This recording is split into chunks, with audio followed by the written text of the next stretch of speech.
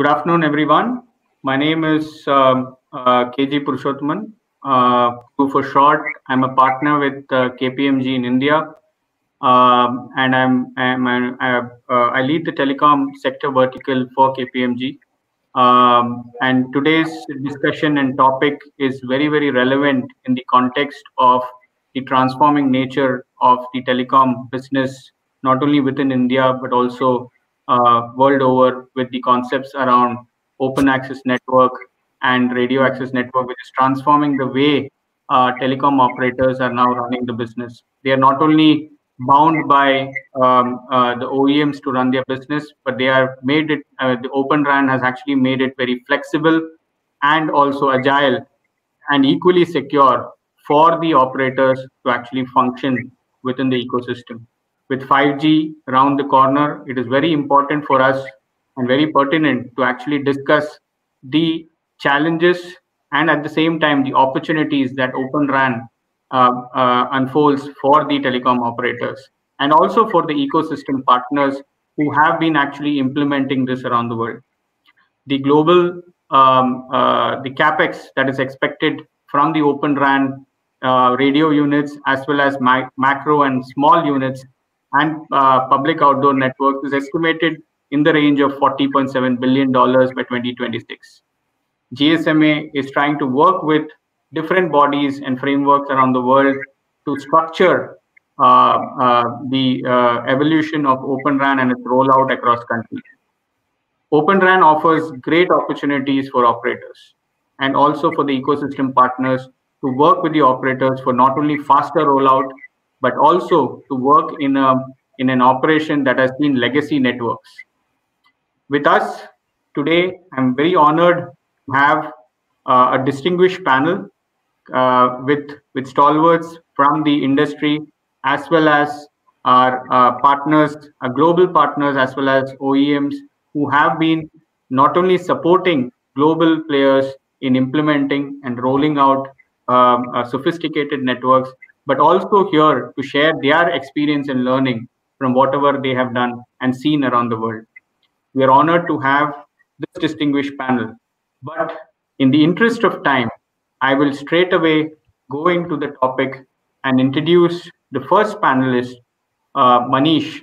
And Manish and each of the panelists, before they introduce themselves and before they answer the question, will try and cover their experience in not only working on Open RAN, but also the connected ecosystem of partners and share their experience before they actually answer the question. I'll first go to Manish Manish, good afternoon, and thank you for being part of the panel. Uh, uh, the first question that I would like to ask you is, you know, you're part of Airtel, you're part of one of the largest operators in the world and as well as in India. You work with a lot of, uh, you have started working with a lot of alliances. Can you share your thoughts on, you know, what kind of maturity that the current ecosystem has for implementing Open RAN and some of the challenges that you foresee in the deployment uh, of Open RAN in the context of India and some of the other geographies that you actually manage. Sure. Uh, thank you, Puru. Uh, let me introduce myself. My name is Manish Gangey.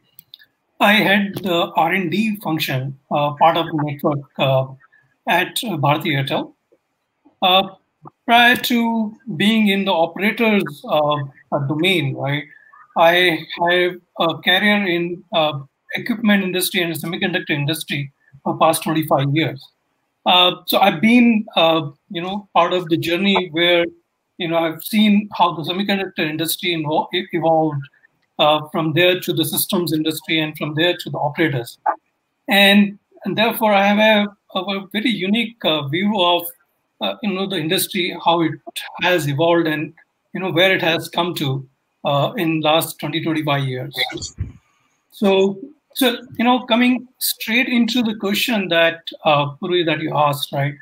Uh, we're really, you know, fortunate that you know the Open RAN as a concept is coming out at the time when you know the 5G is at the beginning of you know its deployment cycle.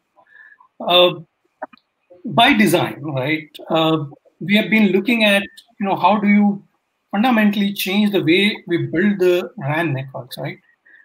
Traditionally, the RAN networks were all built as a single uh, integrated, distributed uh, uh, RAN solution, which actually put everybody into the hands of you know a set of few uh, partners ecosystem, right? A very uh, few number of uh, those you know vendor partners are remaining in this current environment. globally, it has been very challenging for some of uh, the equipment uh, partners to you know sustain uh, the R&D cycles that they have been investing into and being able to you know contribute. And that basically tells you that you know it's time for industry to do things a little bit differently because you know one size of the company cannot take over all challenge of the innovation that uh, is confronting us. So, as much as you know uh, that paradigm has worked over the last uh, 20, 25 years, it's time that you know we look at the way we build the networks once again, right? So open network, open RAN in that way has really opened up the doors for you know the whole ecosystem to come up uh, and start to innovate together. Now, if I really look at the market, you know, uh, and, and you mentioned Puru that you know the market by 2026, the RAN market is going to look like 40 billion. And and if you really look at, you know, there is this size of opportunity that exists in front of uh, you know, to go and start to innovate and get a share of that market. So starting with you know the uh, the part of the the Open RAN solution, uh, whether it is radio, whether it is DU and CU uh, in the context of 5G, whether it is the software that runs uh, on this hardware, whether it is the system integrators, you know, who have to put the solutions together, uh, or the application developers, you know, who have an opportunity now to start to take part into the, the business of the operators, uh, which was very difficult for them because uh, the size of the prize used to be so big that the operators were, you know, are trying to go to one place and get all of that solution done. Uh, with opening up and disaggregation, uh, this whole opportunity has come up in front of a larger number of ecosystem players. So if you talk about the hardware, for example, radio hardware, uh, there are far many, uh, far many players today that who are looking to get into this market and you know bring out the radio designs which are not only more efficient or efficient, uh, space efficient, and also innovative uh, from the perspective of you know how quickly they basically turn around because they are focusing on only that side of problem. Uh, likewise, on the hardware side, right? On the hardware for the DU and CU, right? We are basically now talking about deploying the hardware from a generic perspective, right? No more custom, you know, uh, BBUs that used to be part of the network. We are saying that now you can basically run uh, on a very general uh, x86 kind of architecture with certain amount of exploration built into it. And now think about it, the opportunity. Five or six vendors used to control this entire uh, supply chain for you know the, the baseband unit, what we're talking about from the hardware perspective. They used to do the custom ASICs, they're used to do own designs. Now all of that volume can actually get clubbed and become available uh, for a common set of design because the hardware becomes uh, common across all operators, all de uh, you know, deployments. So that basically you know creates a much larger volume for somebody to win. So that's part of the you know the good part of the the Open RAN story that you know we're looking to uh, you know take advantage of. But then there are challenges that we see on the ground as well the number one challenge that I see, and that's something that we need to make sure that all operators put together around the world, you know, we support this initiative because the TCO of an open RAN is highly dependent on the volume that we are able to generate. If we, you know, if the open RAN remains a niche capability, a niche uh, deployment, the volumes will not get generated, the cost and the TCO will not really become competitive compared to what the, the traditional vendors do. So that's one, uh, you know, first challenge that we need to make sure that there is a volume that we, you know, uh, bring up, we support uh, for this. The second challenge, and that is a bigger challenge that I see from the operator perspective, is the ways of working in operators environment has to change. Uh, for too long, right, we have been dependent on our you know vendor partners, vRAN vendor partners to do bulk of the work. Uh, from you know uh, design, planning, operations, deployment, all aspects of uh, the network operations were all taken care of uh, by with the help of the this certain set of uh, you know vendor partners. That has actually you know uh, changed. That has to change because in Open RAN scenario, people have to operators uh, employees have to do a little bit more than what they have been doing. Right? There is a reskilling needed, and that there is a change in mindset is needed. So both these aspects are very very key to uh, you know uh, this Open RAN initiative to go forward.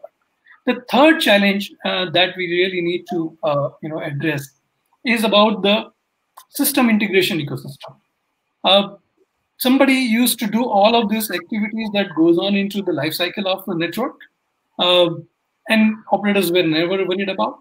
Now we'll have we have an opportunity to bring in the new set of players into this, and they need to learn the art of running the operator's network, and then start to offer those services because not all operators will have the capability to build all this in-house. Uh, they will be dependent on, depending upon the size of the operations, uh, either you will do it in-house or you will be dependent on a system integrator to do this. The fourth challenge that I see uh, that we'll have to really take care of is the performance of the, the network because now they have multiple you know uh, parties who are providing their you know solutions. We need to put them together and make sure that the performance is as good as the performance of a DRAN uh, solution. So these are the challenges that I see uh, that all operators around the world, irrespective of their size, will will see uh, from the Open RAN perspective. And I think uh, industry has to work together to be able to solve that. Thanks, thanks, Manish. I think that was that was quite uh, elaborate. But I, I just want to move to get a different perspective from Bob, if I can. Bob, um, uh, uh, I would like to pick up from where Manish left. Uh, one of the very important points that Manish covered was um, uh, with with Open RAN coming in, it actually offers a very big opportunity for uh, other ecosystem providers who are not traditional OEMs uh, to to, to create an architecture that is interoperable um, and also helps in reducing the overall cost of implementation. But the question that I have for you is, from your experience, um, you know how how how easy or difficult is interoperability uh, at the same level of performance, and secondly, how secure uh, would it get? Uh, we all know about the challenges when it comes to security and what kind of uh, efforts have been put in by telecom operators around the world to make the ecosystem and the network system secure. Um, so the specific question that I have for you, Bob, is um, uh, because you have been designing and implementing 5G architectures across different geographies uh, in the context of implementation in a brownfield kind of an operation, um, how easy or um, secure is it to uh, implement an open RAN architecture which is interoperable as well as secure? Bob? Sure, sure. Thanks, thanks for the question, and uh, thanks everybody for joining in today. Uh, appreciate the dialogue here. Uh, I'll first introduce myself. My name is Bob Everson. I lead 5G architecture at Cisco Systems. Uh, you know, Cisco is involved obviously in a very broad basis across 5G, uh, specifically relevant to this point. We were actually one of the early pioneers in the open vRAN uh, world in uh, late 2017 and early 2018, we formed our Open vRAN ecosystem. And that was really designed to drive exactly what we're talking about here, which is uh, the viability of the technology as well as you know operations and TCO and all the different aspects, because we saw a real potential here for transformation uh, for the operators through the RAN. You know, historically, the, the network architecture for an operator has really been driven by the RAN. You know, you start with the RAN and then everything falls uh, from that, which uh, which has been very effective to date. Uh, but now it's actually quite restrictive to uh, to design your network around an access technology. And so, as we move towards more open systems and virtualized uh, uh, radio functions, then operators get that flexibility. Uh, you know, specifically to your question, you know, we've uh, we've looked around the world, and I think in some ways, I was thinking about this this morning. I think India is actually, um, you know, fortunate that you're not in the first wave of 5G spectrum allocations because the 5G uh, you know, uh, insertion is really that inflection point where you can drive transformation. And some of the early ones and the early adopters in the 5G world have, have really focused on 5G NSA. And in many cases, that ends up being SRAN or single RAN on top of their existing. Bs. And so it's a great way to bring up the network very quickly uh, because you can add a software load, maybe some firmware in there, and, and voila, you have 5G new radio. Um, the caution about that, though, is that it, it sort of prolongs that inertia in the existing systems. And uh, and I think uh, you know Manish, who was talking earlier, was was talking about a lot of a lot of the potentials and a lot of the way Open RAN is developing. So I won't go into that uh, in depth. But uh, but the opportunity here is to really plan because every decision matters. Um, the Open RAN ecosystem is developing quite well. You mentioned interoperability. Uh, you know, the, the, the fronthaul standard is obviously developed well, mid haul, uh, you know, the different interface standards are developing well through ORAN and, and uh, of course, 3GPP. And so that's coming together. Um, there's still, quite honestly, a bit of resistance on, on the part of the legacy vendors. Um, you know, they have uh, obviously big networks and big businesses built around this, but we are seeing some signs uh, where maybe they're going to open up uh, on some of these interfaces, and I think that's just so essential and uh, and one of the things that, that I know operators are, are pushing very hard on. Um, you know the the um, this this this openness. Just back to the openness briefly. You know it's so important for operators as they as they implement this network uh, because it gives them that full optionality, the flexibility um, to uh, to bring in new innovation. As Manish said, there's a lot of great innovation that's going on in the in the in the ecosystem now. Um, the last point I think that you were asking about was on security. security. And sorry, security. That's right. Security. Yes. yes. Yeah. Yeah. The, the last point was on security. And, um, you know, I think it's a bit of a misconception here that uh, that open and virtualized systems are, are less secure. If you think about a, a monolithic system that's uh, that's integrated into a, into an appliance box like the uh, traditional RAN, there's still hardware and software and operating systems and different layers in there. The challenge is that it's actually a black box. And so I think there's a there's maybe a perception that because that's a black box, it's it's actually more secure. Uh, but what we've seen through you know the internet and through you know cloud systems is the more that you can actually open up these systems and expose them, you can actually harden every element of the system. And uh, and so the combination of of course 3GPP security from a from a radio standpoint and from a mobile handset and UE and, and all the great things there, combined with you know decades of, of work in internet security, cloud security practices, IT security, actually allows us to build a more hardened system. And so I'm, I'm super optimistic over the next few years. I think some of this inertia is is, is breaking now. Uh, we're seeing great progress around the world uh, you know, getting to scale with more operators, uh, you know, getting on board with this, which is driving more, even more, uh, you know, traction in the industry.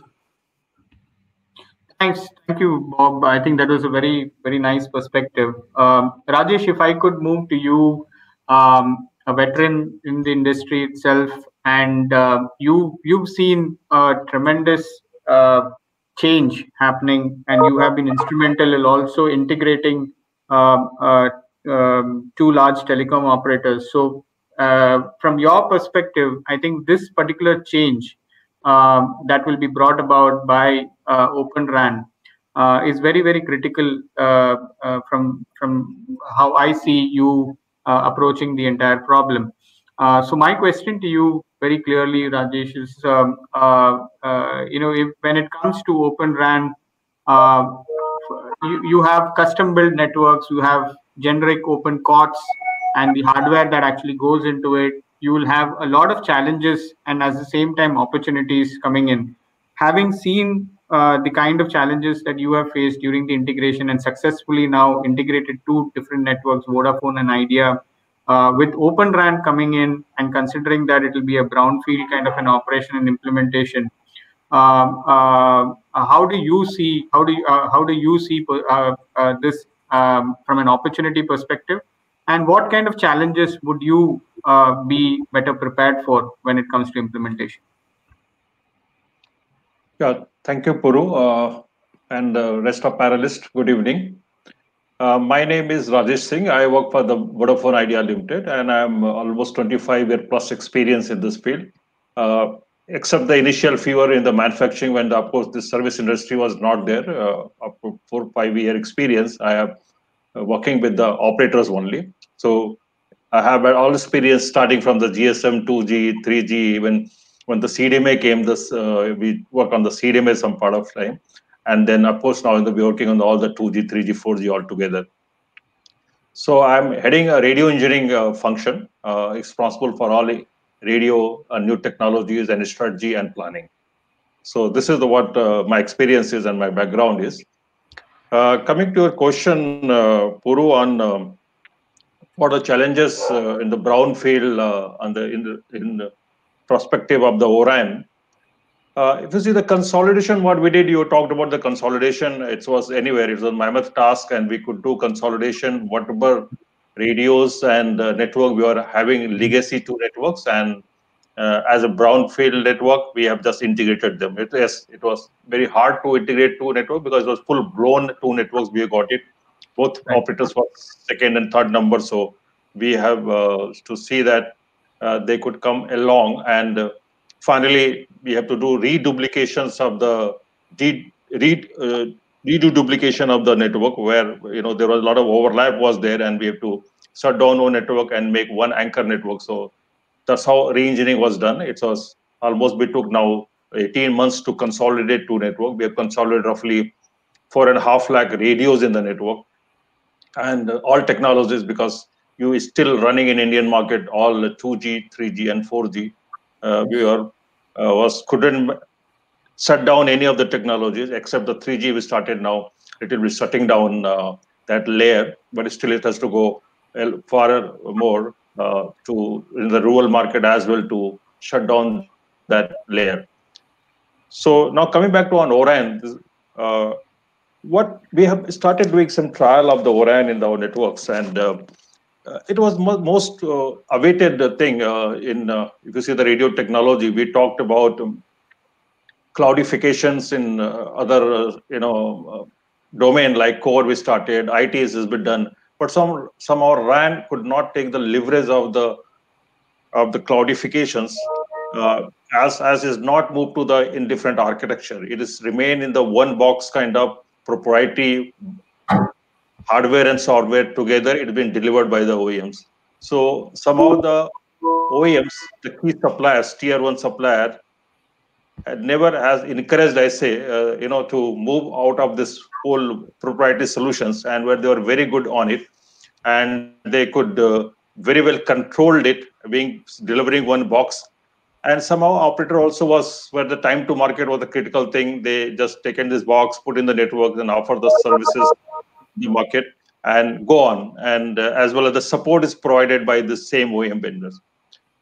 There was discussion in earlier also the CRAN, but I don't think it's taken much taken off. Uh, it could be, I don't see much deployment of the CRAN. Then also the virtual RAN has come, but the virtual RAN also was supplied with the same OEM. So they again has failed to making leveraging of the existing uh, you know cloud infrastructures wherever that operators could build in because you couldn't go to the edge level and it remained maybe on the your core domain itself so we could never could leverage whatever you know whole transformation of happening on the COTS hardware and moving from proprietary to off the shelf uh, standardized hardware of gpp or x86 based uh, those leveraging was missing at the end so i think oran which is now can accelerate this part as you splitting disaggregation started your hardware software is now from two different vendors and then you can uh, you know choose the best of the breed and you can you know uh, deploy uh, this in the network wherever it is it is you know uh, your, your scaling is required.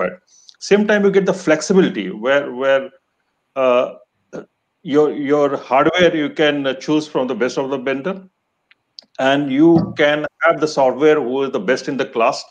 And then maybe you can customize as well because when the proprietary thing was coming uh, it was not possible by the operator to really do any customization at their uh, in networks because it was totally totally locked by the whole all suppliers. And this all operators are getting the same box same services so there was no differentiation is possible. So that's one uh, thing will come where where you can differentiate in the services. You might integrate with the new apis third party partners. You can have a lot of innovations where you can go to uh, you know edge services and close to the customer uh, where your SME, a uh, lot of enterprise services and SME can be delivered from the last edge rather than uh, delivering from the you know uh, current the DRAN architecture. The other point uh, is that we are actually as the data capacity is demand is very high and this is going on uh, in touching the roof the growth of the consumption is not stopping at all and, uh, and india is the one of the highest consumption of the data currently and the per subscriber also is the one of the highest in the market. So how to bring the cost of the production? So we see open ran as a, as a driver who that where we can drop the cost because as when when you open the more ecosystem more uh, supplier will join in this ecosystem then competitiveness will go up and you will commoditize the whole radios and even your your uh, capacity which was locked to the simply one box and it was nailed to the one side. This is also go to in the pooling uh, efficiency you can achieve where not necessary you deploy the all all the sites which is currently what are the practices. But you can as and when demand basis you can give the services and capacity at particular site rather than you know giving the nailed capacity to each and every site in a uniform way so that flexibility will come. And of course uh, important aspects will be the system integrator because when you choose stack software from somebody i mean x vendor and hardware from the y vendor you have to see that they properly get integrated and which can deliver the service right services which is currently. These proprietary boxes are very mature and very very uh, you know robust in the nature. And that's how the whole reliability and resiliency we're achieving the network the other part is the how to drop the opex. So we also see there will be opex advantages uh, when uh, because current the optimization as you operating in multi technologies you have the 4g and uh, even you're moving towards the massive MIMOs where multi-beam formings and all this is very complex technology. You the optimization challenges going high and and and very very com you know it's getting very very critical. So how to optimize better and achieve the automations. So once you have this software driven radios and the where the you have the open source software and with the multi competitive market uh, when the suppliers are you know competing each other and we see uh, AI, artificial artificial intelligence, and even machine learning, which can be embedded in this one, and then your your optimizations challenges will be really can be smoothened out, and it will be not by the manual interventions; it can be totally automated. So you can really enrich your software the way today uh, is open RAN architecture is talked about, and and post on that, I think even when we're talking about the RIC, uh, radio intelligent controllers coming on top of Open RAN, this all can support very well, uh, you know, solving the optimization challenges. So your optimizations cost and uh, operating the network can be, you know, can be managed. It'll be really will be optimized. We also see that if uh, the boxes will get distributed and uh, uh, your your hardware, software, and uh, even hardware you are splitting, you splitting CU, DU, and RRHS. So what will happen? Your space and power requirement will reduce on the current on the towers. So your energy cost and even uh, your loading cost get reduced. So you get the further OPEX benefit when uh, you will adopt this ORAN architecture and you can, of course, reduce your uh, tower loading, you can reduce the energy cost in the site, and even the optimization what I talked about earlier. But at the same time, uh, there is a other challenges, what is the practical challenges? Uh, we have seen that uh, as a 4G network, especially I'm talking the 4G because maybe in 5G when it will come the O-RAN will be much more mature, it will be scalable, and I think more robustness will come on the uh, product, etc. But in the current, what we see when we have done some experiment in our networks, especially on the FDD layer and the B3 band, uh, we have uh, you know tied up with the uh, few uh, vendors in the market, and we have uh, deployed in our network and seeing the real KPIs, what is really it can really you know compare with existing operators or ex existing vendor products. So what we see because current vendor products are very mature but we have struggled to match those KPIs uh, for a quite long time as the traffic demand and the capacity demand is the from first day is very high. It's not a greenfield network as you're going in the brownfield network. So what is happening? Uh, the demand of the KPIs on the first day is, is, is, is very high. You can't wait for that to getting settled down. But here, uh, when you integrating system integrator is there, hardware is there, software is there. So we have seen that integrating all this together and matching with the existing uh, vendor supplier product which was the total proprietary single box very robust hardened uh, there was some challenges was there in matching the kpis either it is the throughput either it's a drop rate and all side even now another complexity we had on the VoLTE on top of it so all this kpis we have seen there is challenge.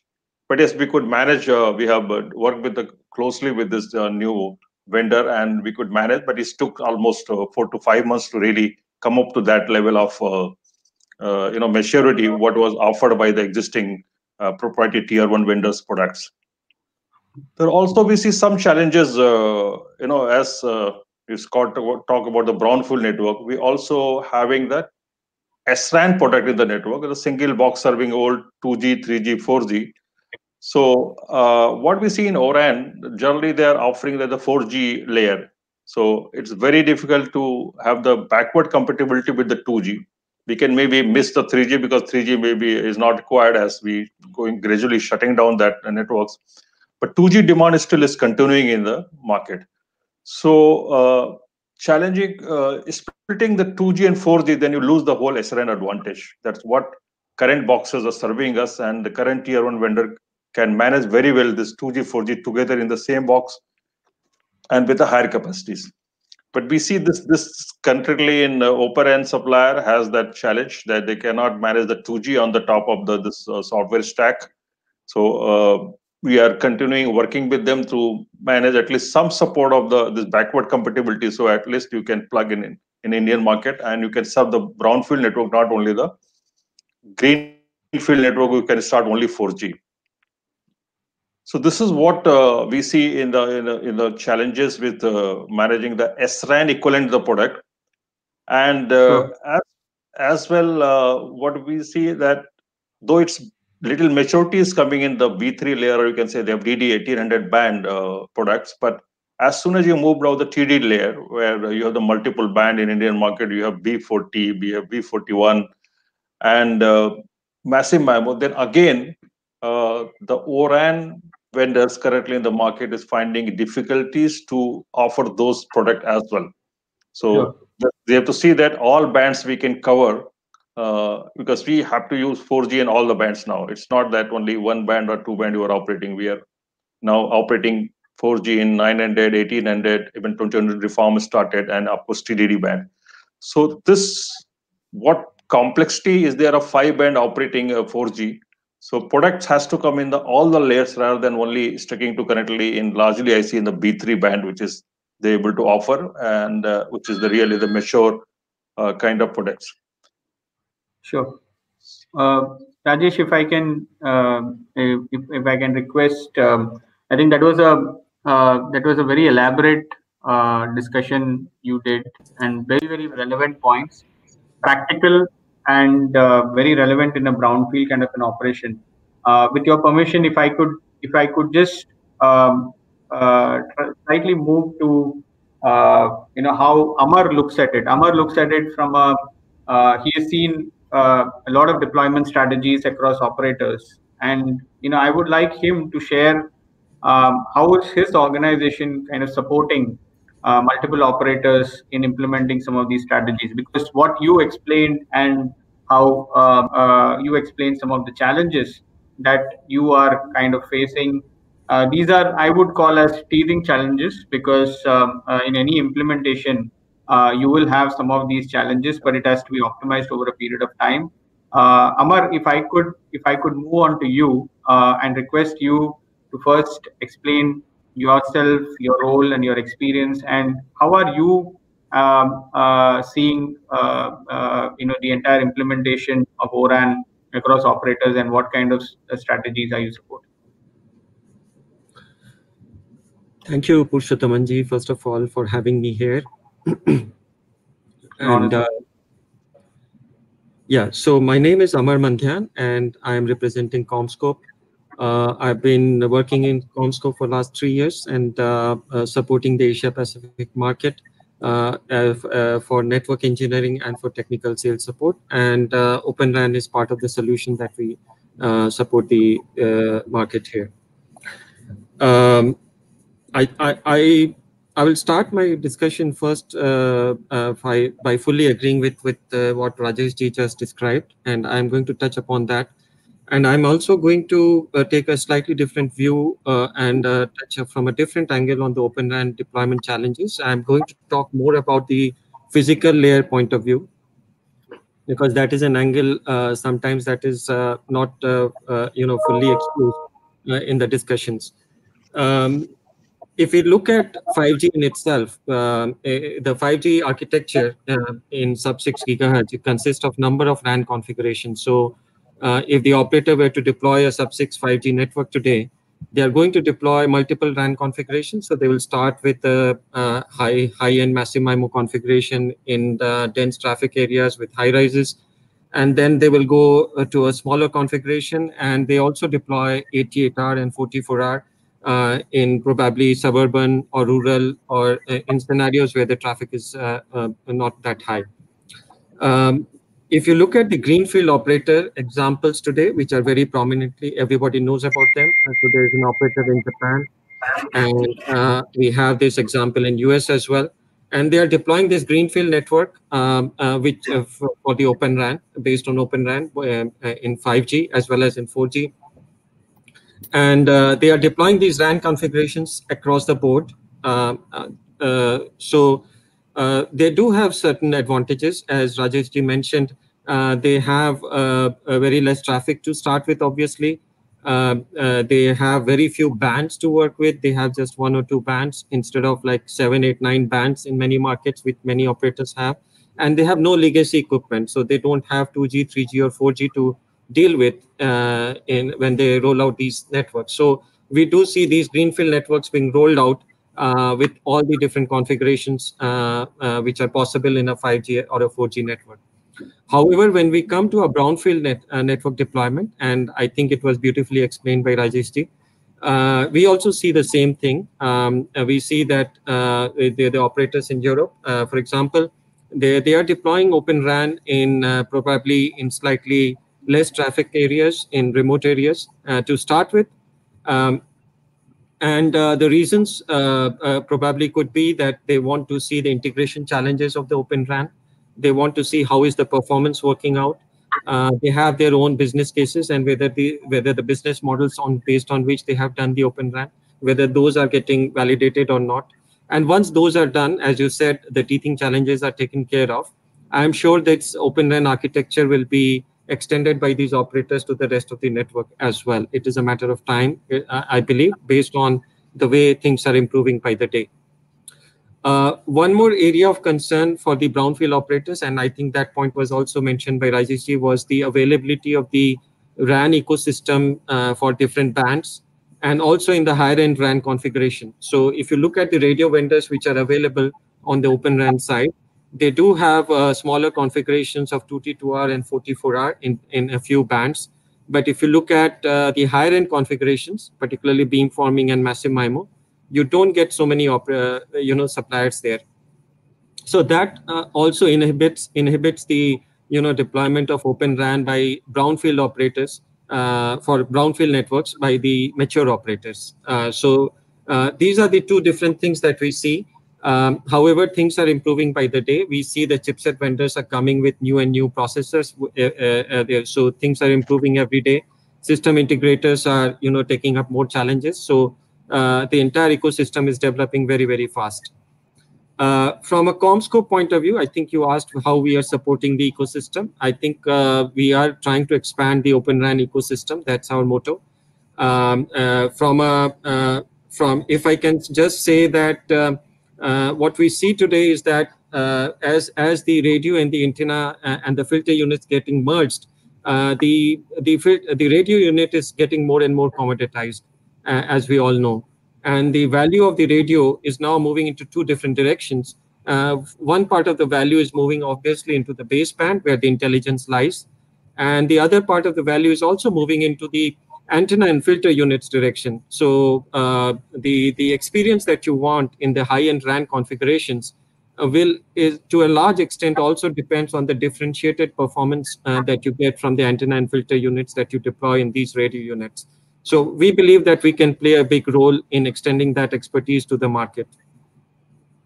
Uh, the other area in the brownfield scenario and the challenge which I think which was mentioned by Rajesh also earlier is to how to deploy with the legacy bands. And um, I think CommScope is trying to bring solutions in the market which become which makes it easier for the brownfield operators to combine the active and passive bands, the active antennas in the in the 5G band with the passive antenna with the passive bands for 3G and 4G and 2G together in a single profile so that uh, these site acquisition challenges and the performance challenges on the on these different uh, radios and different configurations are taken care of uh, in a single in a single box solution.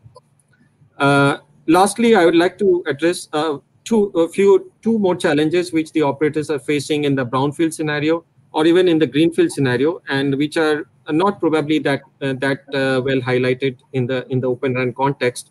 The first one is the site solution challenge. Um, uh, today, the uh, when you buy a, a, a, RAN system from an existing well-established vendor, he is providing the entire site solution, including the radio. Uh, however, when you go into an Open RAN architecture and you are buying it from a radio vendor, he is not equipped to provide that entire solution. I think CommScope can play a big part in providing the entire RF path and the site solution, uh, which is a challenge if you buy it from discrete vendors and try to put together that solution uh, the site on, on, on its own. So I think that is that is one area that we feel that uh, that that that we can play a, a, big part. The other part is the testing of the Open RAN. Uh, when you deploy, uh, when you buy these uh, solutions from radio vendors, they're testing uh, facilities and uh, you know uh, for example over there testing for massive MIMO probably not available with everyone i think CommScope can play a big role in making sure that the performance of the massive MIMO and higher end beamforming configurations are well validated before these are deployed so i'll conclude here uh, Purushothamanji and uh, hand it back over to you thank sure you. thank um, robert uh, thank you thank you for the the, the patience, and uh, I think you've, we've we've actually come uh, come to you after getting a wider perspective, uh, not only from an operator's end but also from implementation partners. Uh, Robert, you come from a uh, from a, a, public policy background, uh, specifically, you know, considering your wide experience and and a global experience, which is very very important in in in the current discussion. Uh, could you share with us uh, uh, some of the leading practices that you see on the opportunity for ORAN um, and any kind of learnings that you might have on the regulatory front or public policy front, which may be important for India to consider and for the regulators to consider as well. Thank yeah. you, uh, Robert. Over to you. Thank you, thank you very much. This has been a, a great session. Um, one of the uh, challenges, uh, questions we get um, oftentimes about Open RAN is is it real? Um, this this panel has proved it is real. Um, uh, I'll come back to that. So I'm at, at, Facebook. I'm head of global connectivity policy and planning. As you mentioned, my background is policy. Um, uh, I also worked with Bob uh, when I was at Cisco uh, uh, as, as, vice president for global tech policy. Um, before that, um, I was uh, a regulator I was at the Federal Communications Commission running the strategy group there um, uh, for about 15 years. So I'm very familiar with policy, and, and I'm currently um, uh, on the board of something called the Open RAN Policy Coalition, which is a global uh, coalition. It started in the US in May with about 30 companies. It's now global with almost 60 companies, including quite a number of companies um, uh, in India, including some of, actually, most of the um, uh, companies represented here here on the panel. Um, you know, the the Open RAN um, entry point, right, or the, what we're talking about with Open RAN is really the most visible and the first major example of what I see as the most important shift in the network technology ecosystem, you know, since the the transition 30 years ago from analog to digital right. networks. Um, the the the shift is really, as we've heard, uh, about moving away from the the the vendor driven top down integrated hardware dominated network stack that's all locked together, glued together um, by the vendor. Um, and we've been seeing a decreasing number of vendors, resulting in vendor lock-in.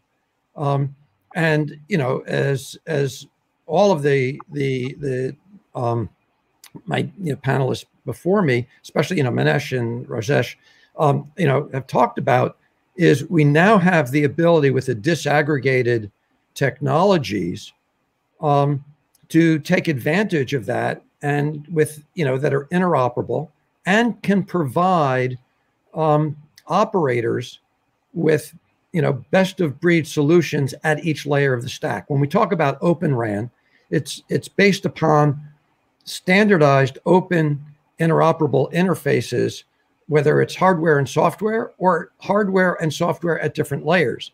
And once you connect and you're open and you connect at the next layer, it's the next layer down and next layer down. And this is why, um, uh, and again, most of the, the, the panelists are also members of the Telecom Infra Project, which we at Facebook helped help uh, found and, and and and create. Um, and it's looking at really this open technology, disaggregated technology at each layer of the stack. Um, and there are really important points that where, where government, uh, as part of policy, can help facilitate this. You know, this is as the next big trend. It's happening, right? Um, it's not something that you know is going to be reversed. This is the very analogous, as I said, to the trend from analog to digital. Um, there are leaders. Everybody, all the companies here are leaders. Um, there are laggards, uh, and government can help facilitate the transition. Um, the other point of this, uh, and by the way, as part of the Open RAN Policy Coalition and the TIP Policy Group that that I work with very closely, um, is looking at what are the things that government can do to accelerate um, and and expand uh, the this transition from vendor lock-in to open disaggregated networks, starting with Open RAN because that's the entry point. Um, and this is particularly important, I think, uh, in India, especially because um, by opening up uh, the stack and opening up the innovation. Um, it also helps support the agenda for made in India.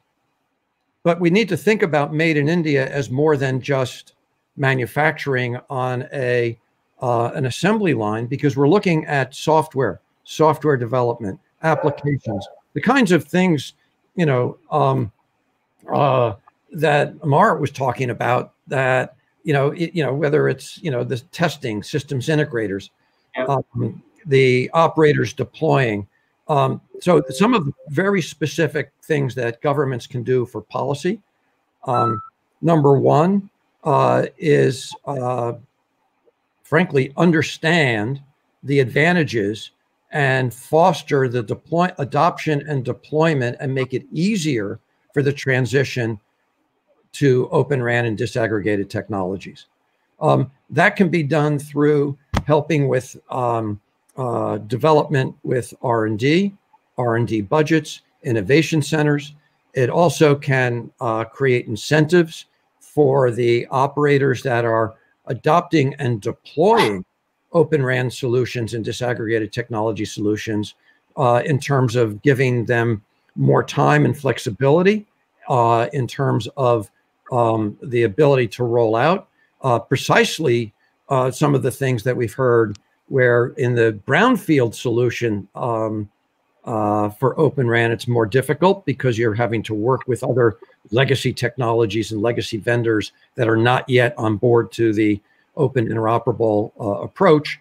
And so there are things that government can do to help the operators in that transition. There's some spectrum issues, especially in the um, uh, integration of the 2G legacy and the 4G and then on to 5G, uh, 5G making more spectrum available. And in fact, um, what we've looked at through the, the coalition and through the TIP policy group um, are uh, a whole um, uh, menu of policy initiatives that governments can take without making it a mandate, because we do not believe mandates actually work uh, that it's about creating the right incentives for the operators to deploy, adopt, and deploy the technology. The other thing that, that is really important here in terms of this new ecosystem is that the operators are part of the specification, design, working with the with the OEMs. Uh, the operators are central to the the testing um, you know, and Airtel, just as an example, has been doing this um, in, in India. Uh, Vodafone um, uh, is one of the global leaders on Open RAN uh, and also global, global leader within within TIP.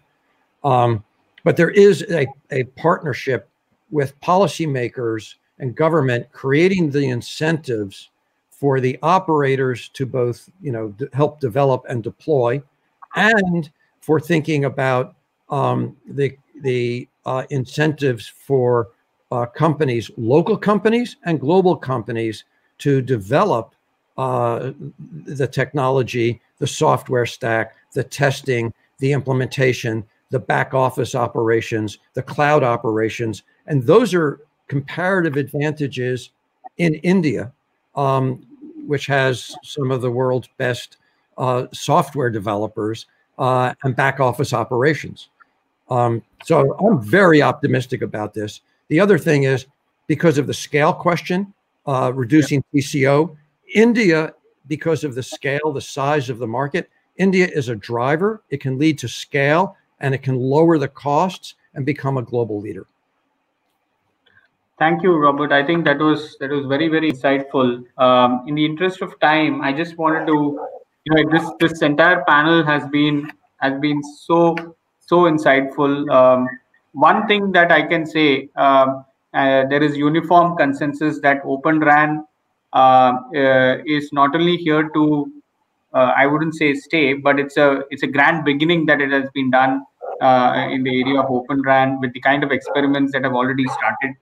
We all recognize that Open RAN will not only help operators to come out of the dependency that they have on a single OEM ecosystem or a select uh, few OEM ecosystem.